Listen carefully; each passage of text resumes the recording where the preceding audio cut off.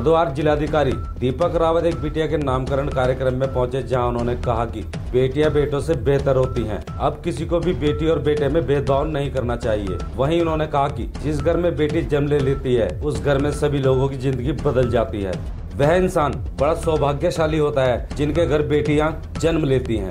इस मौके पर जिलाधिकारी दीपक रावत कुछ अलग अंदाज में नज़र आए, जहाँ उन्होंने नन्ही बेटी के लिए एक गाना भी गाया।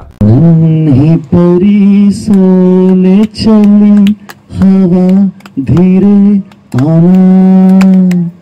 नींद भरे पंख लिए झूला झूला जाना। कली सोने चली, हवा धीरे आना। नींद भरे, पंख लिए, झूला झूला जाना। और किरण सी गुड़िया नाजों की है पाली।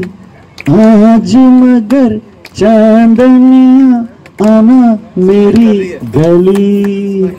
गुन गुन गुन गीत कोई हौले हौले गाना।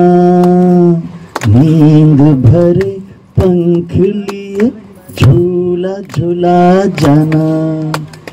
रेशम की डोर कोई बालों को सहलाए।